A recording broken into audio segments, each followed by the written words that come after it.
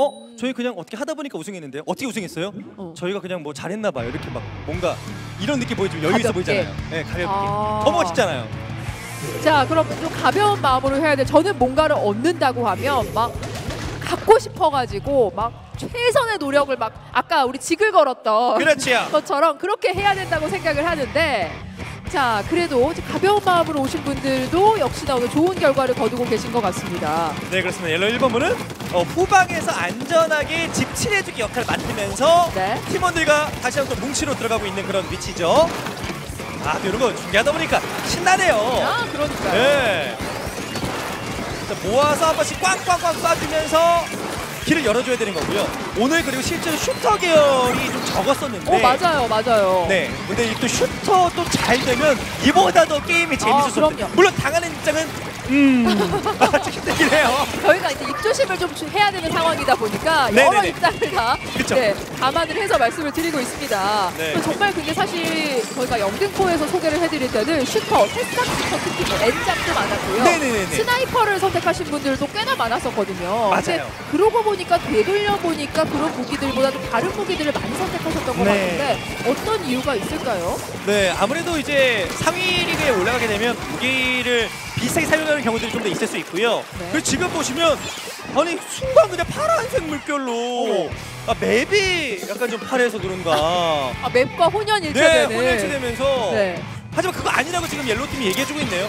지금부터 달려가면 네, 됩니다. 지금부터 시작을 하면 됩니다. 그렇죠. 다시 한번 투척 무기로 길을 열어야 되는데 나이스호까지 뭐 거의 모아놓은 상황이라 슬슬 한 명을 잡고 여기서 지형 자, 변화. 지금 이 리조트 같은 리조트 맵 같은 경우는 이제 네. 지형이 오! 달라지기 때문에 자 이러면 상황이 좀 바뀔 수가 있는 부분이고요. 그렇죠. 이렇게 숨어 있다가 모아서 한 번씩 꽉 어디 어디. 보는 멋은 자 이게 숨어 최고입니다. 있다가 어디 자 성공했나요? 오! 자, 쓰러치나요? 어?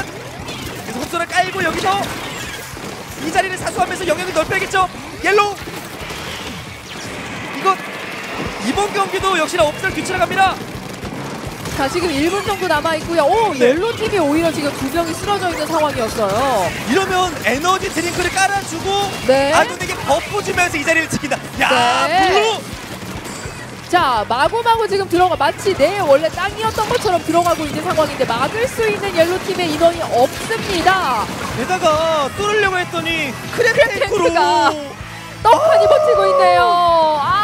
아, 자 쉽지 않은 상황이지만 자, 아직 30초 정도가 남아 있고요. 우선 옐로 팀은 쓰러지지 않는 걸 좀 먼저 네. 주안점을 두고 플레이를 하는 것도 괜찮을 것 같습니다. 맞습니다. 일발 역전을 해야 되는 그런 상황이라 네. 지나가면서 어, 상대방이 잡히지 않는 그런 모습이 좀 필요한데 어, 요거는 좀 여러 가지로 어려운 상황이라고 말씀을 현재까지 드려야 될 것 같습니다. 오, 자 지금 멀리서 Sniper로 상대를 쓰러뜨렸는데 그렇죠. Sniper가 또 공격을 가겠습니다. 자, 이 상황에서 이렇게 급한 상황에서 우리 yellow 팀이 우리 망멩스 팀이 wipeout을 당해버렸거든요. 그래서 결국 누가 봐도 약간의 좀 어, 상황이 좀 유추가 되죠.